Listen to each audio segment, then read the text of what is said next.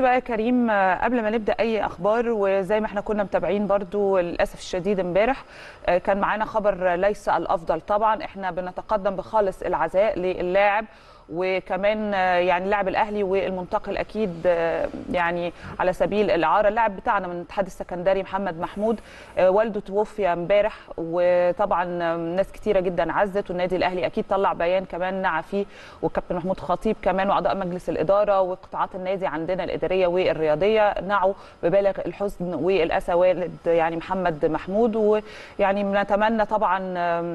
ربنا يرحمه وبنتمنى كمان الصبر لاهله وخبر احزن طبعا ناس كتيره جدا امبارح ونتمنى الصبر للاعب باذن الله ف يعني الله يرحمه كريم مش من الاخبار اللي نحب ابدا نبدا بيها اخبارنا مع حضراتكم